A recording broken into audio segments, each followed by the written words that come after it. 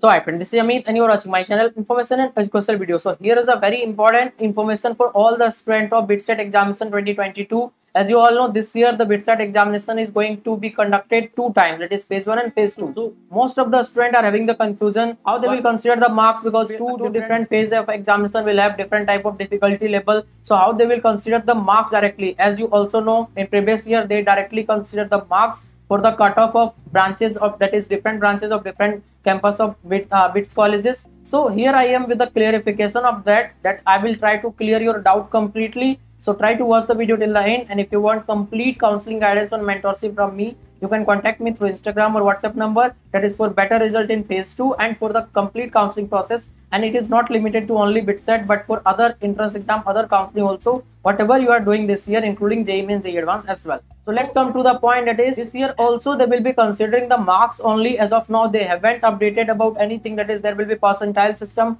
So now you will have the confusion how they will consider the marks because if some student will appear in phase 2 and they will get more marks and if I will not appear in phase 2 I will be getting the less marks. So this will not be the case because they have clearly mentioned those students who had appeared in phase 1 those students will only able to appear in phase 2 there will be no new student who will appear in shift 2 only. Of course if you have applied for phase 1 and if you haven't appeared then you can go for the phase 2 directly. But if you haven't applied for phase 1 and you want to apply for phase 2 you will not be eligible for applying as the application for phase 2 has been started. Now only sidewise i am showing you the dates what is important for BITSAT examination of 2022 so it is clearly mentioned the merit list will be provided based on the marks.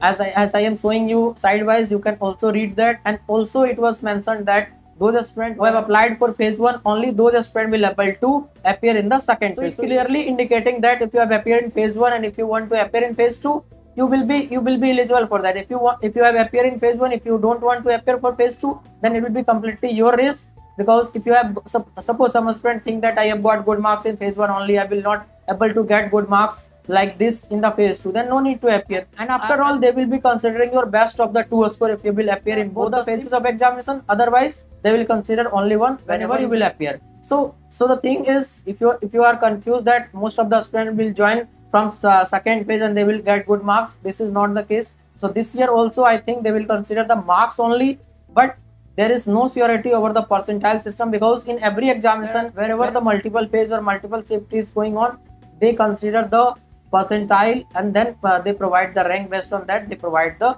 college through the counseling process. But here in bits they consider the marks directly. So this year also i think they will consider the marks only. So i will suggest you try to appear in both the shifts so that you will able to maximize your chances of getting the good uh, good marks and based on that you will be getting the good college.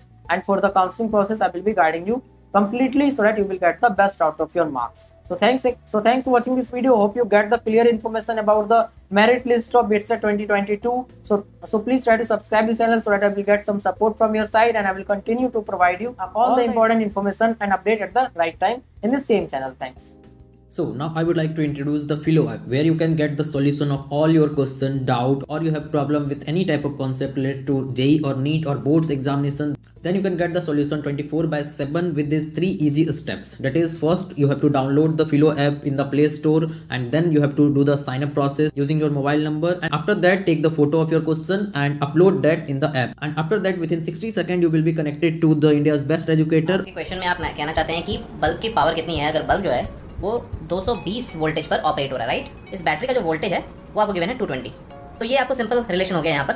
अब अगर कोई आपको और doubt है तो बताइए. So without wasting your time download the Filo app link is available in the description box and use the code I E B double zero one you will get the ten percent instant discount